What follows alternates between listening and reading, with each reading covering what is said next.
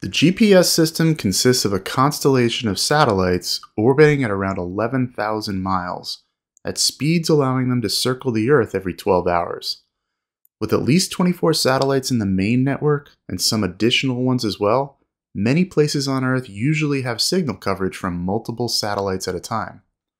This is a good thing, as there's a minimum number of satellites required for the receivers like on our aircraft to properly work. We need to have reception of signals from at least four different satellites in order to determine our position accurately. Because the satellites are in motion relative to the ground, at 12 hour orbits they move faster than the Earth is rotating, we have different satellites in view at any given time. With enough satellites in the full network, though, we should be able to pick up the minimum number for navigation. At times, satellites can develop faults, and if one of the four that we're using is faulty, our receiver could compute a position different than where we actually are. Sometimes these differences don't amount to much, but depending on the geometry of the satellites we're receiving, it could cause a larger error than what's acceptable on an IFR flight. Older GPS units, suitable for IFR flight but without any ground based augmentation, are identified by the FAA as TSO 129 or 196. An example would be the Garmin 430 or 530 without what's called a WAAS capability.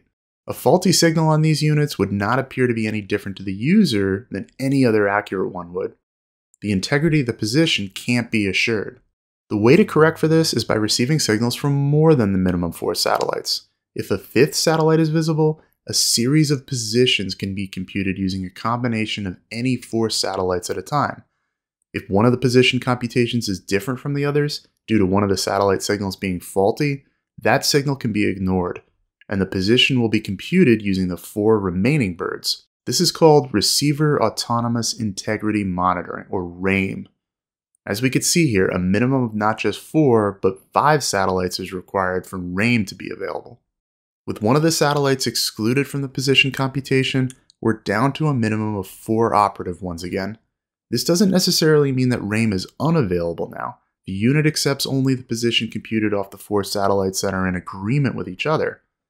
Some units are able to exclude the faulty satellite altogether using fault detection and exclusion.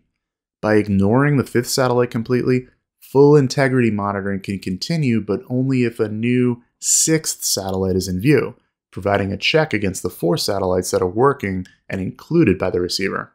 RAIM availability is based off the position of the satellites, which can be predicted to a very fine accuracy due to their stable orbits.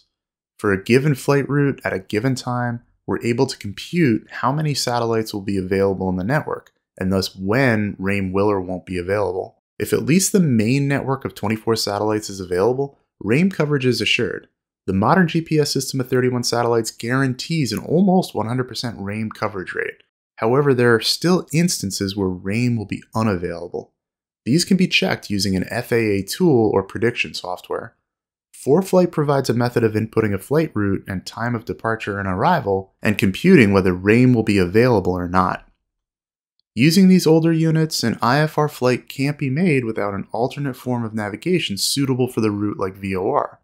If a RAIM outage is predicted for a flight, we could still fly at IFR as long as we're using those alternate forms of navigation as our primary source now.